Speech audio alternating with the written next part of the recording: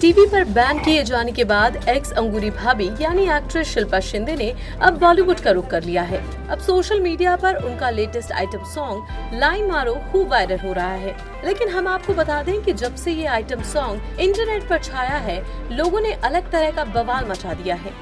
User Shilpa को खूब troll कर रहे हैं।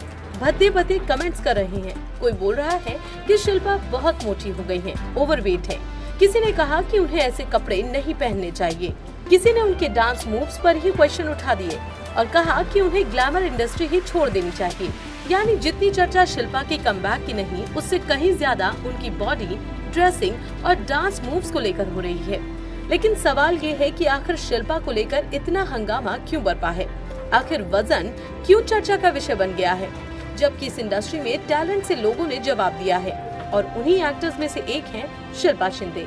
मानते हैं कि ग्लैमर इंडस्ट्री में फिगर होना बहुत ज़रूरी होता है। लेकिन लोग ये क्यों भूल जाते हैं कि यहाँ अगर टैलेंट है तो मोटा होना कुछ मायने नहीं रखता। और अगर इस सॉन्ग में शिल्पा इतनी ही भद्दी दिखाई देती तो शायद प्रोड्यूसर्स उन्हें इस सॉन्ग के लिए साइन ही नहीं करते।